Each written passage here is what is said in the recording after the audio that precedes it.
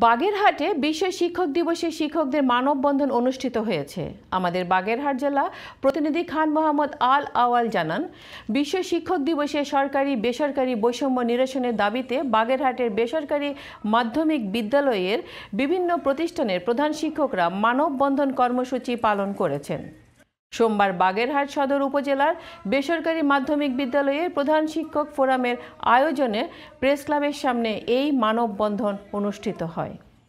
মানববন্ধনে বক্তব্য রাখেন বাগেরহাট সদর উপজেলা প্রধান শিক্ষক ফোরামের সভাপতি মোসাম্মদ ফারহানা আক্তার, সাধারণ সম্পাদক ইলিয়াস হোসেন, শিক্ষক আব্দুল সালাম, আব্দুর রাজ্জাক, ঝিমি মণ্ডল, স্বপন কুমার কীর্তনিয়া।